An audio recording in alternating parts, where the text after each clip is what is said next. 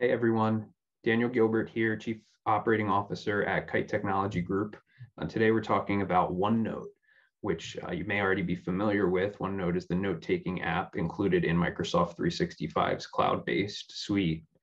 Uh, and you may already be using it for note-taking, but the truth is it can do a lot more than just basic note-taking. So what I wanna do today is show you some of those advanced features that can help you get a lot more productivity out of OneNote. All right, so to demonstrate, I created this demo notebook and I'm going to show you a few things using this notebook. The first thing I'll just go over is how notes are structured. So you have three levels of structure. You have your notebooks, you have your sections, and you have your pages. Your uh, every OneNote file, so to speak, is called a notebook. That's this name that you see here, Patty's Pub Demo. And across horizontal tabs are your sections and inside each section is a set of pages. So a lot of people already know how to structure your notes. You choose the structure that works for you. But then to go a little further, you can color code these sections. So if you right click the section, go to section color, you can choose any of these colors that you want. Maybe um, what I want to do is just make all of my HR related tabs blue Maybe I want operations to be red and I want marketing uh, to be green. This way you can keep related information in uh, the same color. Another tip that I'll show you is how to make subpages. Sometimes you have pages that are related to each other. So I've got a couple pages to add. Uh, we had some performance issues with Charlie. So um, we had an incident in May 2020 and then in June, uh, we did a performance improvement plan. So both of these pages are related to Charlie. So I'm going to just drag them up underneath Charlie. And then I can right click them and say make subpage. One more time, right click, make subpage. So because these pages are pertaining to Charlie, I've put them underneath my Charlie page so that related pages stay underneath Charlie. The next feature I want to talk about is called page templates. What page templates do is they're just a pre-formatted design that you're able to use and bring into new pages that you create for different purposes. So to get to page templates, I'm going to go to insert and click page templates. And it makes this pane appear on the right. And there are a lot of different templates in here. You can play around and see what they uh, look like to decide which one's best for you, for your need. Right now, I'm creating a new staff meeting. So I'm gonna go to business and I'm gonna choose detailed meeting notes. I like this one. So it's got a little visual effect to it. You can see it creates a new page on the right, which you can rename. So I'm gonna name this March 2022 drag it up here under my staff meetings. And then from here, I'm free to put all the information that comes out of my March 2022 meetings. This way I can keep uniform format throughout all my meetings. So this next one is kind of basic, but also can be really useful in certain situations. Uh, as you notice, notebook pages in OneNote are completely white blank. Uh, some people like to have lines on their pages like notebook paper. So if you go to view, then click this rule lines, you will see notebook paper style lines appear on your page. And uh, you can see the next couple lines that I type will actually be in line with the rule lines that I made appear. So this is really useful, by the way, if you're handwriting notes in OneNote, which you can do. Uh, I'm not on a tablet, so I'm not able to demonstrate that. But if you are handwriting notes, you can use the rule lines to keep from slanting your text. Or something else you can do is that you can enable grid lines. Some people like to have graph paper for different purposes. I'm going to switch back to my notebook style lines and whatever uh, rule lines you land on, if you like them, then you can go back to this menu and you can say always create pages with rule lines. This way, if you create a new page, they automatically have rule lines enabled. A lot of times when you're using OneNote, you may need to open a different window while still having your OneNote page visible. And you can do that using a feature called docked window. So if you go to view, then you click new docked window, the page that you're working on right now pops out on the right and then the original OneNote window stays on the left. I'm just going to minimize that because I can put whatever window I want over here now. And as I resize my page, the other side of the screen resizes for me. So in this case, I've got a browser window with Google, and I'm just going to search um, whatever it is that I need to search. And this way I can do research or whatever it is I need to do on the left while still taking notes on the right. So maybe I want to grab an address for one of these stores and put it in my meeting notes. Another option that you have in OneNote is to be able to incorporate outside data into your OneNote, like Excel. That's what I'm going to demonstrate here. So you uh, can go to the Insert tab on any page and click the spreadsheet button. You can use an existing spreadsheet uh, or a new one. I'm going to choose a new one. And it creates this box here where you can click edit.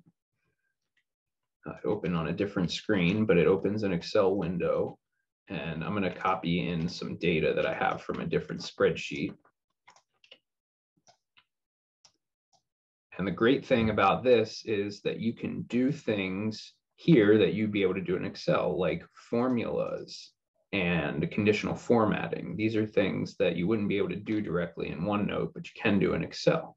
So I can save this data and then you'll see it's visible to me right here in the page. I never have to leave OneNote. So it can be useful if you have Excel data that needs to be included on your page and you can have it uh, directly beside some notes that you take.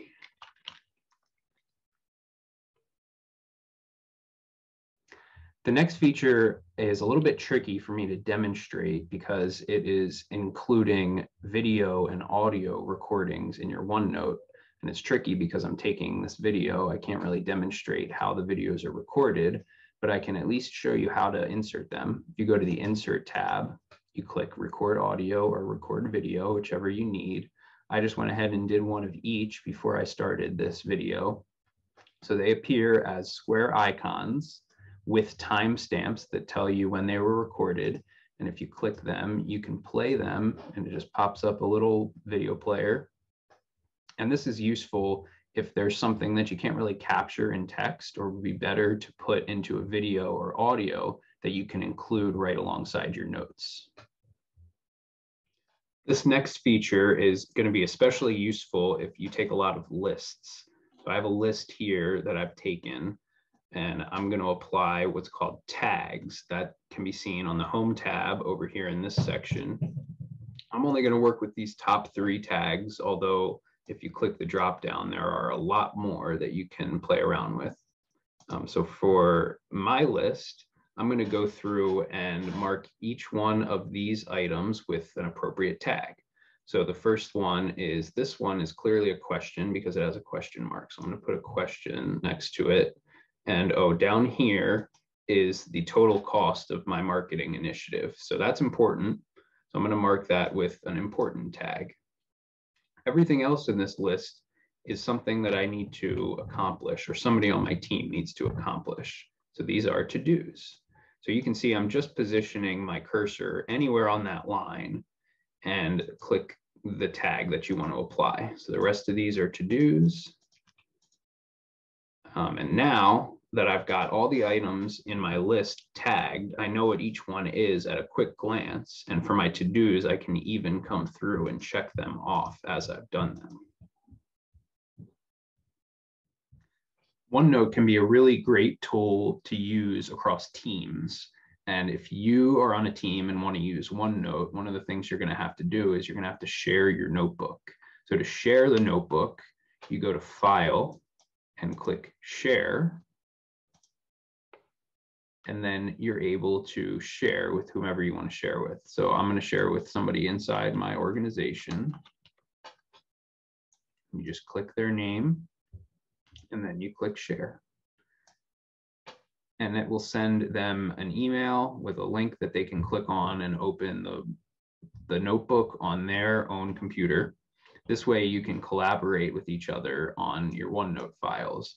So what I'm also going to show you is when you share with people, you can see edits that they make that show up um, with these little highlights next to the part of the notebook that they that they edited. So here is an edit made by another one of my team members. You can also see all the edits if you go to review and click, I'm sorry, you have to go to history and click find recent edits.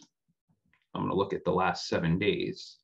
Over on the right hand side, you can see all of the edits made to this notebook. And if you sort this by author, you can see who made the edits. So here's a list of all the edits that were made and the name of the team member who made them. So if you've shared your notebook with members of your team, you may still have information in the notebook that you want to keep private because it's sensitive information. And you can do that even if you've shared the notebook by using section passwords.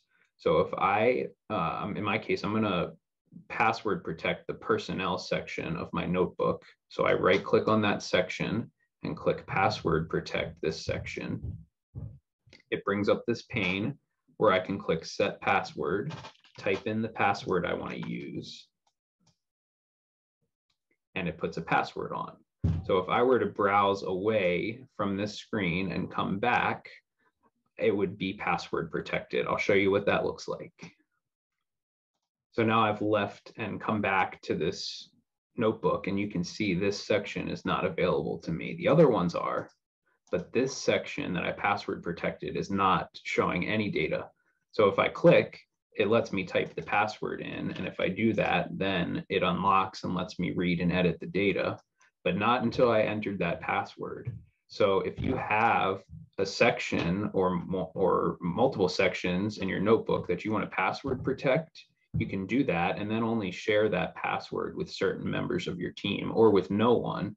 And only the people who have the password can get into that data. And the last feature that I'll show you in OneNote is the export feature.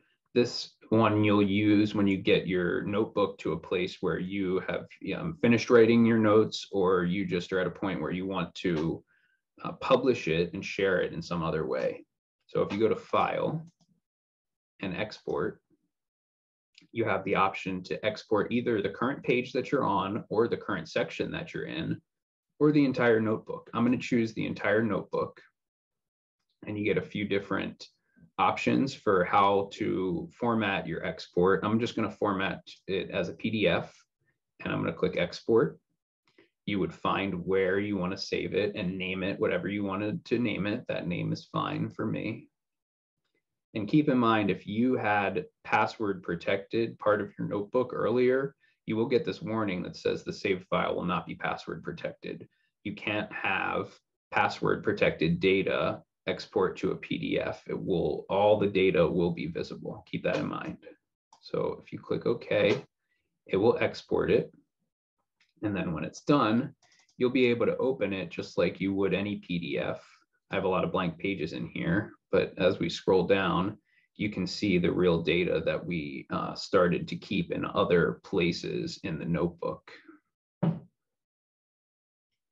All right, everyone, thanks for watching. I hope that you've learned uh, something about OneNote. If you have any questions about anything you learned here today or about any other pieces of OneNote, we encourage you to reach out to our help desk if you are already a Kite Tech client.